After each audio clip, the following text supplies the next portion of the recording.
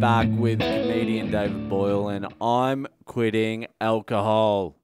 So every now and then I do one of these podcasts and I think about it afterwards, and I'm like, fuck, I'm gonna have to tell my wife about this one. Like, I feel guilty that I've done a podcast and I've said some shit that she doesn't know about. And so I'm like, it's not really fair the whole world knows more about me than you. Because she doesn't listen to this podcast and that train's fucking gone now. Because I'm not fucking having her listen from day one and then have her asking questions about how I was feeling emotionally fucking 400 days ago. I'm like, I don't know. I'm out of my fucking mind half the time. So now she can only listen from the start when I'm dead. But I do play her a few episodes here and there, and she enjoys it when she listens to it. But I just, yeah, nah.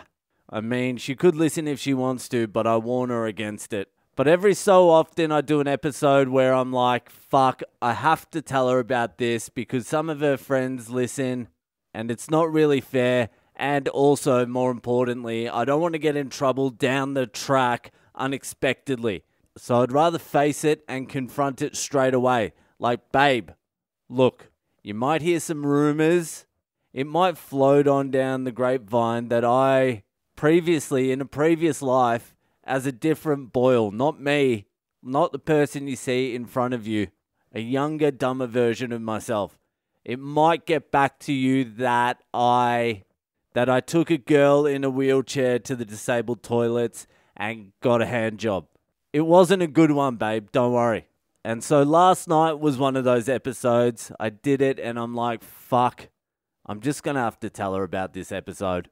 I'm just going to have to tell her about my ex girlfriend and hooking up with some other girl and then getting busted and fucking all this shit. Just listen to yesterday's episode. It wasn't even that bad. So after I did it, I went back in. I'm like, woof. Oh, that was a tough one tonight.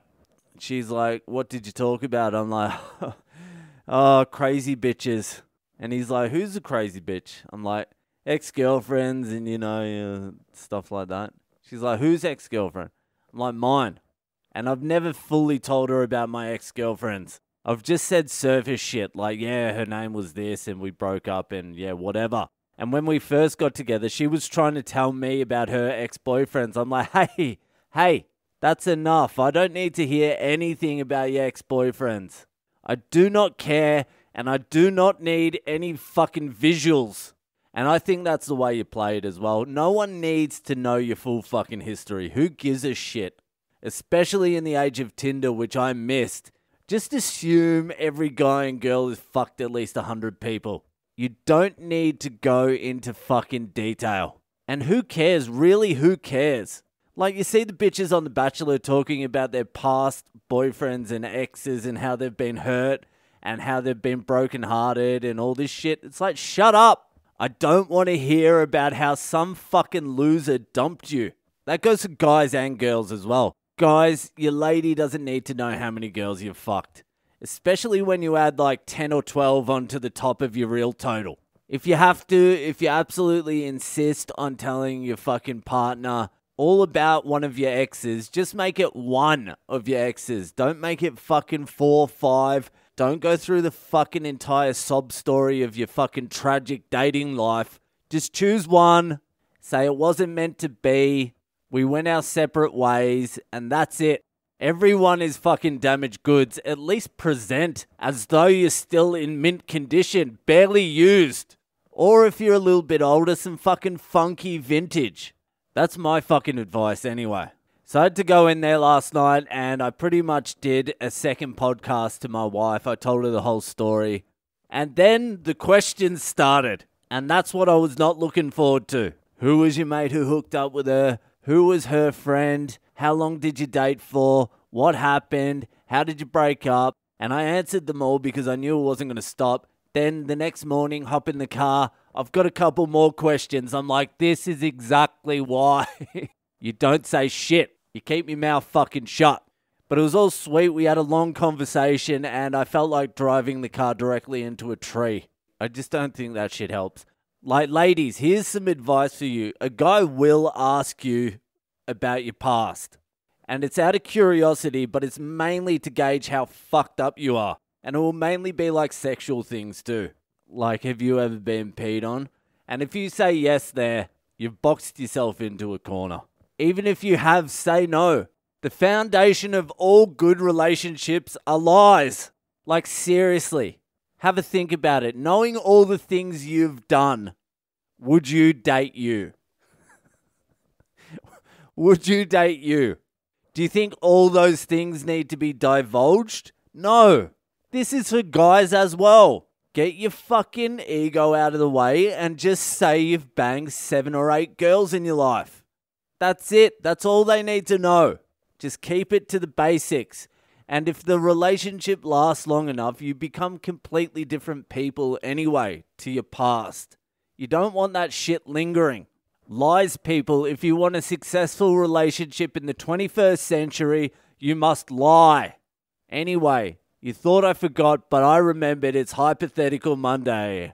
Hypothetical Mondays. Tell me why Hypothetical Mondays.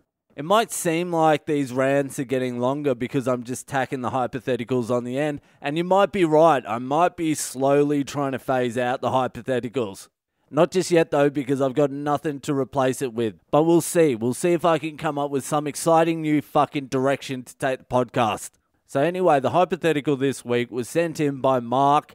Would you rather get great sleep, be stress free, but have minimal money for the rest of your life? or wake up early, be tired constantly, work hard, and be rich.